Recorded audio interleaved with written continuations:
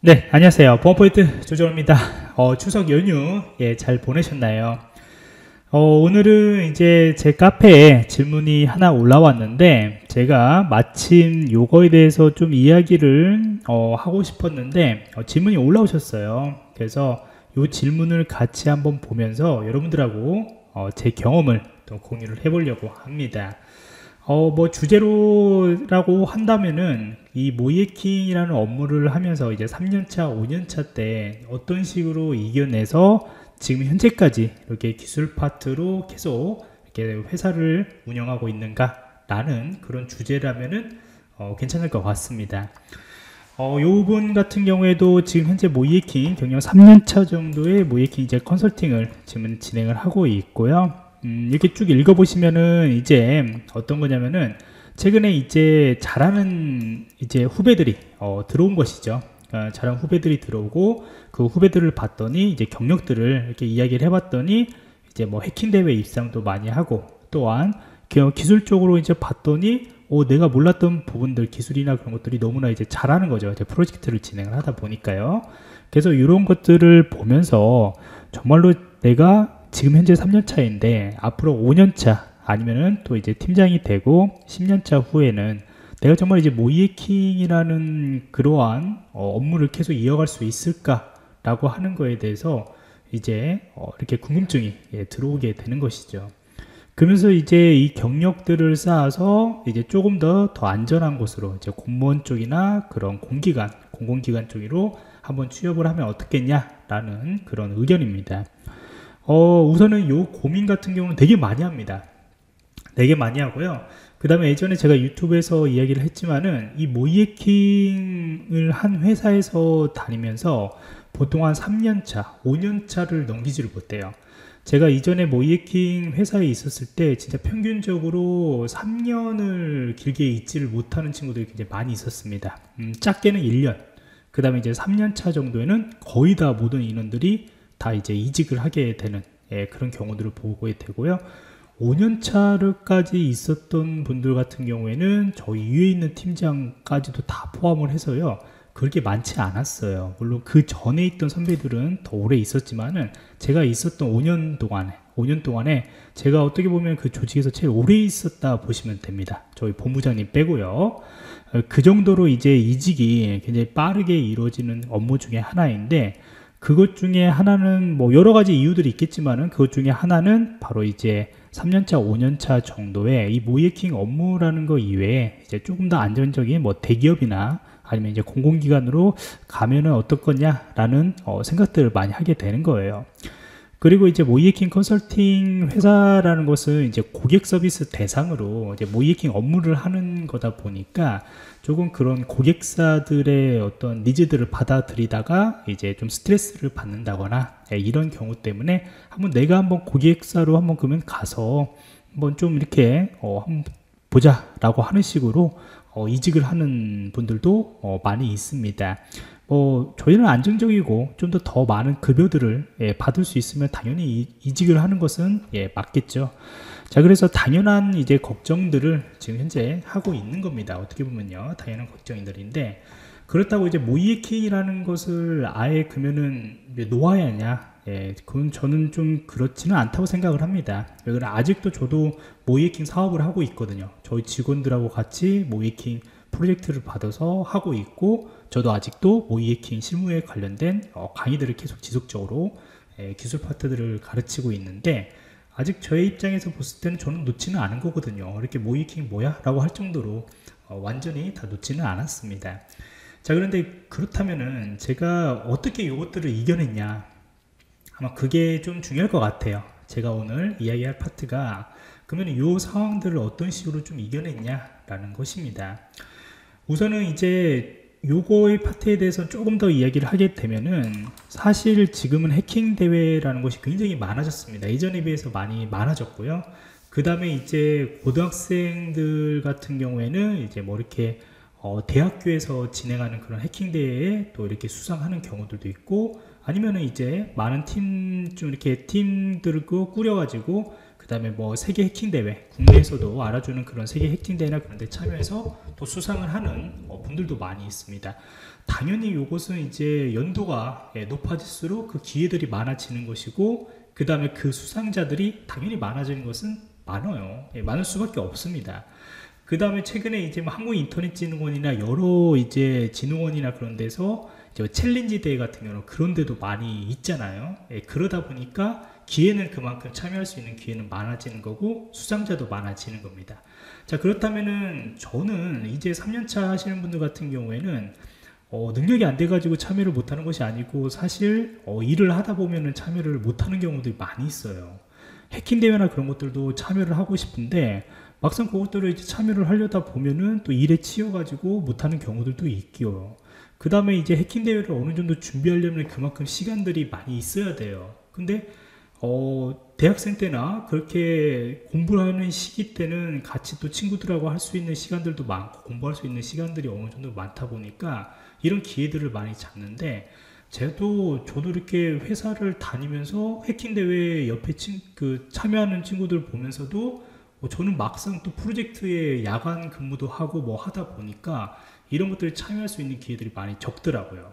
물론 이제 회사에 다니면서 또 좋은 성적을 내 가지고 또 하는 분들도 많이 있습니다. 굉장하죠. 굉장히 존경스러워요. 그분들 보면요.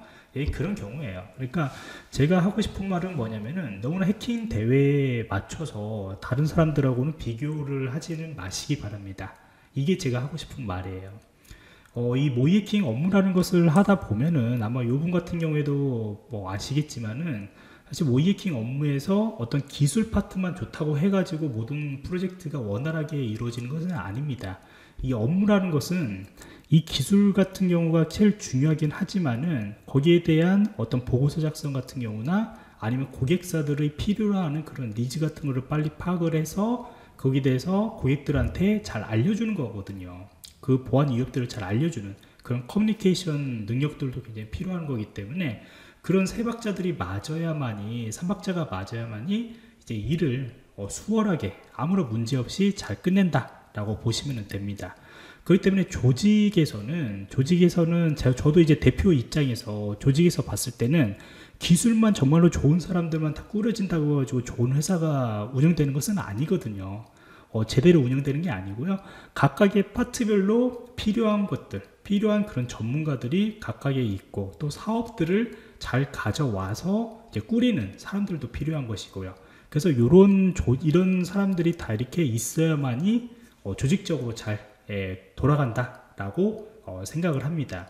그렇기 때문에 여러분들도 하나의 조직의 한 구성원이기 때문에 여러분들이 잘할 수 있는 장점들을 좀 살리면서 그 조직에서 예, 그거를 어, 강화시키는 것이 좋지 않을까 능력을 더 강화시키고 더 발휘하는 것이 좋지 않을까 예, 그렇게 생각을 합니다.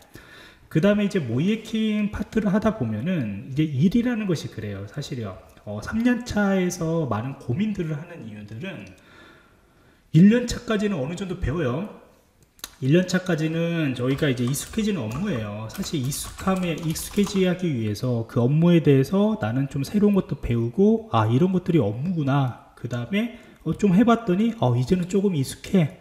이런 단계가 바로 1년 차란 말이죠. 2년 차에서는, 2년 차는 이제 어떤 거냐면은, 이 1년 차를 어느 정도는 이제 반복하는 기간이에요. 그러니까 작년에 내가 했던 것들 업무들을 그냥 그대로 진행을 하면은 되는 거예요. 그 중간중간에 또 새로운 업무들이 좀 이제 발생을 하겠죠. 어떤 변수들이 있겠죠. 그래도 2년 차까지는 어, 이제는 조금 수월하면서 내 업무가 좀 수월하면서 옆을 바라볼 수 있는 좀 시기라고 보시면 돼요. 후임들도 이렇게 들어오고요. 그렇기 때문에 좀 나름대로 괜찮습니다. 여기까지는 잘 버텨요. 근데 이제 3년 차가 되면서 또 1년 차하고 2년 차 했던 것들을 반복을 하게 되면은 조금 너무 익숙함에 대한 지겨움이 이제 들어오기 시작합니다. 이때부터가 이제 어, 고민을 하게 되는 거예요. 그러니까 내 몸은 편해요. 사실 다른 거를 신경 쓰지 않으면요. 이제까지 했던 업무들을 그냥 진행을 하면 되기 때문에 꼬박꼬박 월급은 들어오고요. 그 다음에 이제 후임들이 하는 것을 보면은 어, 그런 것들은 뭐 이렇게 해결하면 되지 이런 정도예요. 그래서 모이킹 할 때도 그냥 눈으로만 이렇게 하더라도 대충 어, 취약점들이 이제 보이기 시작하는구나. 이랬을 때 이제 3년차가 이제 들어오게 되는 겁니다. 그 다음에 앞에서 1년차, 2년차 때 이제 웹해킹하고 모바일 해킹을 계속 반복적으로 하다 보니까 뭔가 새로운 것들을 해야만이 사실 이게 능력도 갑자기 이렇게 좀 향상되는 것들도 느껴지고 뭔가 보람이 느껴지는 건데 회사라는 것 자체는 사실 좀 안정적으로 갈 수밖에 없거든요. 그렇게 기존에 했던 사업들을 계속 이어가지고 새로운 것들을 계속 하면 좋은데 그냥 이전 것들을 이어가면서 그 다음에 새로운 것들을 조금 조금 이게 첨부시키는 거거든요. 리스크를 줄이기 때문에요. 그러다 보니까 직원 입장에서는 매일매일 이제 반복적인 업무들을 하게 되는 그런 지경들이 많이 발생을 합니다.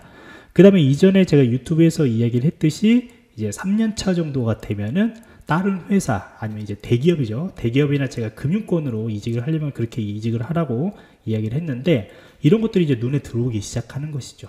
음, 그러다 보니까 고민을 많이 할 수밖에 없습니다. 근데 여러분들이 정말로 내가 모이에킹이라는 것을 정말로 계속 끝까지 10년차, 11년, 뭐 15년차 될 때까지도 이 영역들은 좀 내가 좀 더 개발하고 싶어 라고 한다면은 오히려 모이에킹이라는 그 취약점이라고 하는 부품 그 파트에서 조금은 벗어나면서 얘를 잘 이겨내시라고 저는 좀 권고를 드리고 싶어요. 이게 어떤 말이냐면은 이 지겨움을, 없, 지겨움을 없애기 위해서는 좀 새로운 것들을 많이 집어넣어야 돼요. 근데 기존에 했던 모이에킹에서 내가 취약점만 찾으려고 하면은 공격자 입장에서만 계속 고민을 하려고 하다 보면은 한계가 좀 올 수가 있고 어려움이 좀 와요. 물론 이 한계를 뛰어넘는 것이 중요한 건데 그거를 뛰어넘으려다가 오히려 이제 너무나 스트레스가 받아서 들어오는 경우들도 있습니다. 예, 너무 스트레스를 너무 많이 받는 거죠. 그러다 보니까 좀 다른 영역, 다른 영역이란 뭐냐면은 내가 어, 내가 공격했던 거에 대해서 내가 침해 분석을 한번 해볼까? 아니면 이제 포렌식 쪽으로 한번 더 공부를 한번 해볼까? 라고 하는 것들, 다른 영역들을 이제 공부를 하게 되는 것이죠.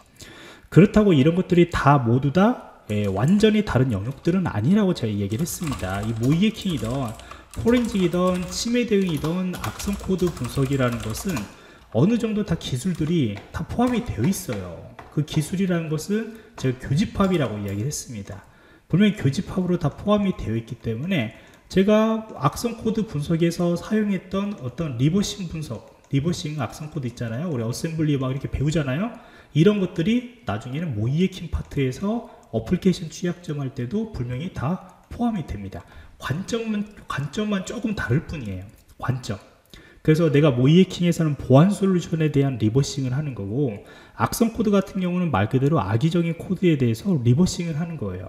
하지만 같이 사용하는 어떤 디버거 같은 거나 그런 도구들 사용하는 그런 분석하는 기법들은 거의 동일합니다. 동일해요. 포렌직하고 침해 대응 같은 경우에는 당연히 여기는 연관성이 있겠죠. 그리고 포렌직에서 이렇게 어, 사용하는 어떤 증거 수집을 하는 그런 과정들은 또 모이킹에서도 똑같이 포함이 됩니다. 한, 한 예로 이야기하면요. 안드로이드 포렌직, 안드로이드 모바일 포렌직하고 안드로이드 모바일 해킹하고 했을 때 그 기술이 거의 50% 이상은 같아요. 그런데 이제 forensic하고 침해 대응 악성 코드 파트의 그런 다른 업무들을 하다 보면은 뭔가 새로운 것들이 조금 조금 보이거든요. 뭔가 새로운 것들을 배우는 그런 기분들이 들고 이제 보이기 시작하다 보니까 어, 이것들을 어, 이제 이 보안이라는 영역들에 대해서는 밖으로 나가지는 않습니다. 계속 유지가 되면서 어, 내가 이렇게 분석을 한번 해버렸더니 그럼 모의해킹 관점에서는 한번 좀 다르게 그러면 이제까지 내가 다른 분야에서 했던 것들을 한번 적용을 한번 해볼까? 내가 공격자 입장에서는 그러면 어떻게 해볼까? 내가 포렌직하고 침해 등에서 내가 공격했던 것들이 흔적들이 남는데 모이킹 할 때 그러면 이 흔적들을 지울 수 있는 방법들은 뭘까? 라고 하는 그런 다른 관점들이 조금 조금 보이기 시작을 해요. 저는 이렇게 이겨냈습니다. 제 경험이에요, 그냥요. 그러다 보니까 어, 이렇게 다른 영역까지 한번 보다 보니까 내가 모이킹을 하면서 또 필요했던 어떤 솔루션 개발이나 아니면 해킹 방어, 지금 현재 제가 사업 같은 경우는 해킹 방어 시스템이나 그런 것들을 되게 많이 참여를 하거든요. 근데 해킹 방어 시스템이나 그런 사업들을 참여할 때도 이 모든 파트들을 다 봐야 돼요. 이 지금 현재 제가 넣었던 모든 파트 플러스 알파를 좀 보게 되는 건데 나중에는 이제 인프라 보안이나 이제 뭐 방화벽이나 이제 뭐 라우터 그런 거 영역까지 다 봐야 돼요. 그런 것까지 영역들을 보다 보니까 재밌는 거예요. 오히려 모의해킹에서 벗어나는 것이 아니고 모이킹이라는 것을 이제까지 제가 했던 모이킹 기술이 생각해보면 굉장히 적었던 거예요, 사실요. 근데 그것들을 다른 영역에서 찾아가지고 좀 더더 이것들을 연계를 하다 보니까 더 많은 것들을 보게 되고 이제까지 못했던 그런 취약점 분석이나 그런 것들이 이제 가능한 것이에요. 가능한 겁니다. 근데 이런 것들이 너무나 이제 할 것이 많아지다 보니까 저는 이제 직원들하고 같이 어, 이것들을 분배를 하면서 같이 이제 연구를 하고 교육을 하게 되는 거죠. 그러다 보니까 저는 이제 교육 사업까지 이렇게 같이 하게 되는 것이고요. 그래서 여러분들이 이런 것들을 기술적인 것들을 어떻게 어, 그요 기존에 했던 것들을 나는 내려놓고 다른 곳으로 한번 이직했나 이직할까 라는 걸로 바로 생각하지 마시고요. 한번 이런 식으로 통합적으로, 야, 융합적이죠. 융합적으로 한번 생각을 한번 해보세요. 다른 영역이죠. 그렇다고 보안에서 완전히 다 벗어나는 것은 아니기 때문에요. 그래서 이런 식으로 저는 좀 그때 저도 많이 고민을 하고 어, 굉장히 힘들었던 시기들을 이런 식으로 이겨냈습니다. 이겨냈고요. 그러다 보니까 이런 파트들을 다 책을 썼죠. 모이에킨 포렌직 침해 대응 악성 코드 이 파트를 다 책을 썼었죠. 그래서 그런 식으로 하나하나 좀 이겨냈던 것 같습니다. 어, 이렇게 공부하시다 보면은 뭐 물론 이제 나중에 사이버 경찰이나 이쪽으로도 갈 수 있는 기회들은 많이 있겠죠. 예, 모의해킹 파트만 해서는 사이버 경찰이나 그쪽으로 갈 수 있는 경우들은 많이 없습니다. 기회들이 없고요. 좀 더 융합적으로 여러분들이 그 포렌직이나 치미덱이나 그쪽으로 좀 공부를 하셔야만이 아마 요 기회도 오지 않을까라고 생각을 합니다. 그래서 저는 여기에 대한 답변들은 어, 이런 식으로 여러 분야들을 좀 같이 공부하고 그거를 하나씩 하나씩 연결을 하면서 좀더더 재밌게 예, 공부할 수 있는 방법들을 찾았다라는 것이 예, 제 경험일 것 같습니다.